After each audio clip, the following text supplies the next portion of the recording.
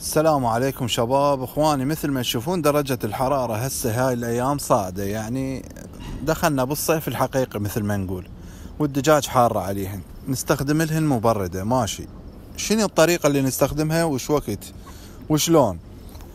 إذا كان القفص مفتح من الجوانب مثل هذا اللي عندي يعني مثل آه، طبيعة هذا القفص أو بالسطح إخوان ومفتح من الجوانب يعني بي ار سي أو سيم شوف شغال أنت خلي لهم مبرده كونفيرا أو غير الكونفيرا أو مروحه بس افتح الحلفات مالتها والغي ال water pump يعني مجرد هواء.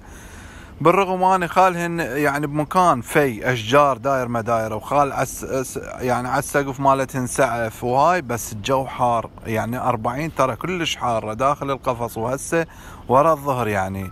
ودرجة الحرارة 40 فاخواني نسوي مثل هاي الطريقة لأن إذا تخلي لها water pump وحلفة الدجاج يتمرض أخوان. فتلغي الحلفة تشيل الحلفة مال المبردة مثل هاي الطريقة وتلغي water pump ليش نشيل الحلفة؟ على مود تدفع هواء أكثر.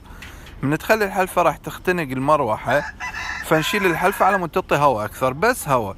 وإذا عندك مفرغة أي شيء مروحة آه عادي. بس إذا القفص مالتك مغلق يعني قالهن داخل قفص مغلق أو غرفة أو بيتونة أو قاعة صغيرة فخلي لهن مبردة بيها حلفة. وراح اعوف لكم بنهاية الفيديو فيديو ثاني وصلك إلى شلون نربط المبردة على هذا الجهاز ال 1100 اللي الأوتوماتيك. يعني هي من كيفة تفصل الحرارة. وربي يوفق الجميع وأشكركم على المتابعة والمشاهدة.